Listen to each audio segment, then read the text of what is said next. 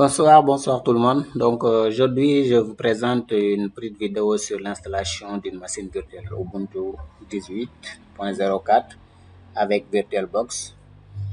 Donc euh, une fois vous avez VirtualBox installé dans la machine, vous avez une interface d'accueil du genre.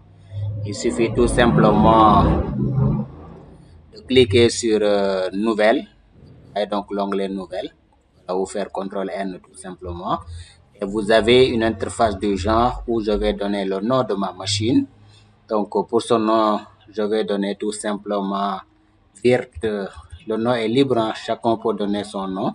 Donc je vais donner tout simplement virt pour dire virtuel. Et ici, vous verrez donc l'emplacement où il va stocker le dossier qui concerne cette machine virtuelle là. Voilà, je peux laisser par défaut changer. Ici, au niveau de l'ISO image, c'est là où je vais aller cliquer sur l'onglet aller chercher l'image euh, ISO de VirtualBox de la machine Ubuntu que je, que je cherche à installer.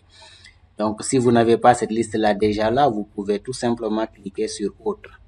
Une fois vous cliquez sur Autre, vous allez et vous faites, si vous faites Ubuntu, automatiquement vous avez un ISO qui est là. Je peux tout simplement euh, télécharger et amener au niveau de ce lien-là. Vous verrez donc le lien sera affiché. Et là, maintenant, vous verrez automatiquement le type et la version vont devenir en grise et remarquer Ubuntu avec la version que vous avez 64 ou 32, etc. Et là, il suffit de, cliquer sur le bouton suivant. Voilà. Et une fois par défaut, vous avez un utilisateur qui a comme mot de passe change me. Mais nous, on va changer d'utilisateur pour m'écrire tout simplement mon utilisateur, je l'appelle user et le mot de passe, je vais tout simplement faire passer, voilà, PA, et je confirme mon, attention, je confirme mon mot de passe au niveau du champ, du champ suivant. De l'autre côté, vous, avez, vous aurez le nom de la machine qui est là, que vous êtes libre aussi de modifier, d'ajouter quelque chose, etc. Et le domaine par défaut de la machine. Donc, une fois que toutes ces informations-là renseignées, il faut aussi noter que ce mot de passe-là est important dans la mesure où lors des, des, activités à venir pour changer d'utilisateur, pour devenir administrateur, pour se loguer, pour ouvrir la session, etc. Ce mot de passe-là serait important à ce niveau-là. Donc, c'est à retenir. Ici, donc, vous faites comme ça et ça devient donc un des points. Après cela, vous faites tout simplement suivant. Et là, maintenant, on va choisir la RAM de la mémoire par défaut. La RAM de la machine par défaut, c'est euh, 2 Go 2048. Je peux cliquer ici pour glisser à augmenter ou réduire. Ou je peux arrêter directement en jaune ici et écrire la valeur que je veux. Par exemple, 4096 pour dire quoi? 4 Go. Processeur, je peux l'augmenter en CPU ou bien diminuer, genre, ou cliquer ici et ça augmente tout simplement. Voilà, je peux faire tout simplement 2. Voilà, et là je fais suivant, ou bien vous laissez à 1 et là-bas aussi la RAM à 2, à 2 Go. Après, je fais suivant. Là maintenant, c'est l'allocation de la de l'espace disque. Là aussi, on est libre de glisser pour avoir la taille que nous voulons ou bien tout simplement on écrit à l'intérieur la valeur maximale que nous voulons ici. J'efface donc ça et je mets tout simplement la valeur 60 par exemple. Voilà. Je mets 60 par exemple. Voilà. Donc, je mets 60 gigas et je fais suivant. Voilà. Une fois suivant, il fait un récapitulatif de tout les informations saisies et autres. Si tout est correct, il fait finish.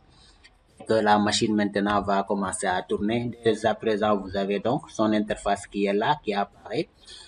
Donc, une fois l'installation, le process démarre à ce niveau-là et la machine va commencer à s'installer.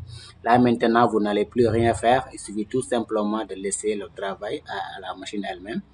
Euh, elle va faire tout. Une fois que tout est terminé, là, c'est uniquement, il vous, elle vous invitera à vous loguer. C'est-à-dire donc à ouvrir une session et commencer à faire les travaux comme vous le voulez. N'est-ce? Accéder au terminal, taper des commandes, faire des mises à jour, taper des commandes, etc. Donc, en gros, c'est, c'est, c'est ça l'installation et l'étape. Donc, il faut juste attendre un instant le temps que le temps que ça, ça commence à le process de l'installation. Une fois que ce process-là démarre maintenant, je pense que tout le reste s'agira tout simplement de patienter et d'attendre que tout soit fini pour ouvrir donc votre machine, avoir la session qui est ouverte. Voilà, donc euh, on va attendre un instant le temps que le temps que la machine démarre son process et que tout soit fini pour qu'on puisse accéder à l'interface euh, de la machine et démarrer une session pour voir à quoi ça ressemble. Voilà, donc une fois l'installation finie, vous avez quelque chose comme ça. Donc, il suffit de cliquer dessus et de taper le mot de passe que vous aviez tapé. Voilà, passé. Maintenant, si le mot de passe est incorrect, vous verrez donc, il va vous dire que le mot de passe n'est pas correct. Il suffit donc de taper le bon mot de passe pour que votre machine s'ouvre et que vous accédez donc au bureau de la machine et de commencer à faire des travaux avec cette machine-là. Voilà, donc là, il suffit de faire next, next jusqu'à done, c'est-à-dire terminé. Et là, donc, vous avez votre machine qui est là à fin prêt. Après, donc, au prochain tuto, on verra comment exploiter cette machine-là pour bien comprendre son, son, ses composants, etc. Merci beaucoup à tout le monde et à très bientôt. Merci.